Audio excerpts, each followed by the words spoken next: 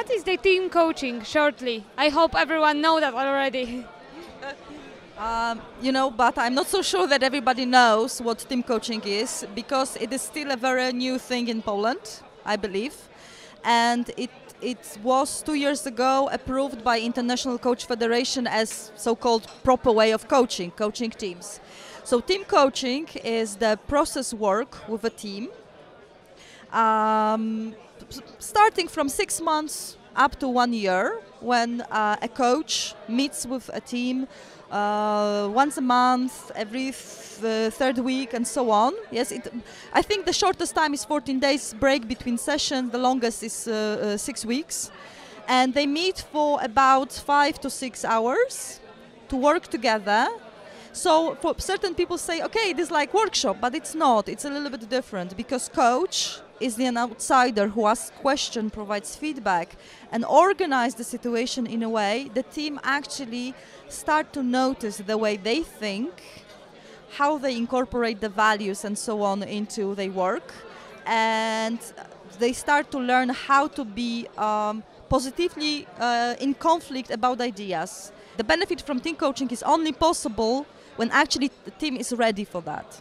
So that's crucial. For me, is uh, crucial is to see if there is a right place for uh, for team coaching, because if the team, for example, lacks some competences, it's not a good idea. Yeah, workshop, training, that's much better than actually team coaching. So if I'm sure that this is the right moment, yes, that they are ready and they are eager to change, yes, I introduce them uh, my theory of three responsibilities. First, I am, as a coach, responsible for the process, that I know how to create this framework of, of coaching. And I'm courageous enough to ask questions. And I'm curious uh, about the opinions, and I'm not judgmental. Yeah, that's what I, this is my uh, responsibility. Their responsibility is to actually do something. Yes? It's not only be present here, but change something after the session mindset, behavior, doesn't really matter. But there is a third responsibility. The responsibility of the system, sometimes it's, it's company they work in, that everything what will be designed during the coaching process is accepted in the system. And when time is right, three responsibilities are met, yeah, I'm responsible, they are responsible, and the system is responsible, I think the magic can happen. Uh, who decides what are the do- goals of the coaching? not not not the coach no no no no it's not like this actually before coaching in a team starts uh, I usually go for shadow coaching, so I go for uh, to to to the um, team site for like one, two, three days. It depends. Uh, on, it depends on the problem, really. And I observe. I usually ask to be present at different meetings, so I can just you know, talk to people and I take notes about the beliefs they hold, the way they think, and I try to observe certain behaviors the team has. And after this shadowing, I meet with some sponsors, so somebody from HR, and I meet with team leader. So this is some kind of three-party meeting. And we have like normal coaching session, you know, when you work on smart goals and we establish what could be the goal for the process, taking consideration their needs and my observations and we, we are looking for markers. How, how will we recognize that this goal is, um, is fulfilled?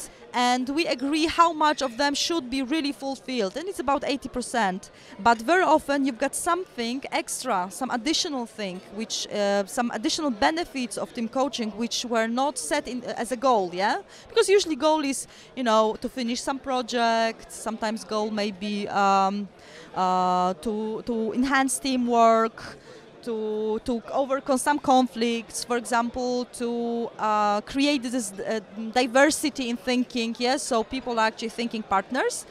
But the person who will go through the team coaching like this will actually learn after this process how to observe their thinking, thinking models and how to solve different problems in different areas and I think if the team coaching was successful, meaning these three responsibilities were actually fulfilled, the, the person doesn't have to go through another one.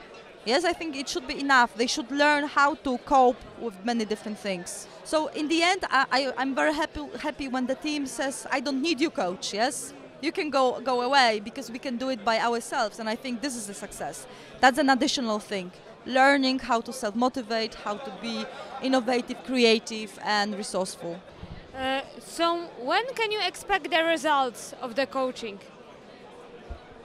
uh, you know, people would like to have results uh, from team coaching from you know the very beginning. Uh, but usually, I'm very honestly say that at the beginning of the process, it may be even a little bit worse because people start to observe each other. They start to question a lot of things. Yes, but later, throughout the work, it's getting better and better and better. How much does it cost? It really depends. Uh, it depends on the language we use, but uh, we will opt uh, at something between 3,000 to 8,000 per uh, session. Yeah, it, it really it, it depends on the on the requirements, the traveling thing, the the documentation you have to do around it. Yeah, because sometimes the the company really wants to have a lot of uh, side work. So you've got the session, but as well a lot of calls in between, and, and the price may be as well connected with that. Okay. So the last question: Why we should spend the money? uh, you should spend the money when you're ready to do it and when you feel that there are things oh, okay there are repeating problem in a team or for example you all know, have knowledge how to solve something but you don't know how to do it uh, what else? Um, it's worth spending money actually at the beginning of the, information as well uh, because this is the best uh, moment to incorporate good practices. Yes?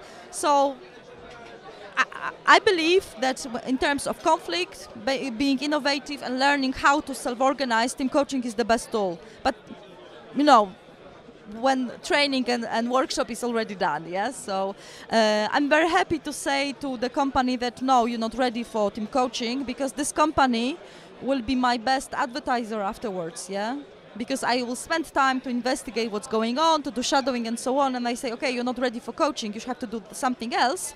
I can recommend you trainers to do it. And then they usually come back after some time, yes? So, yeah. So thank you very much.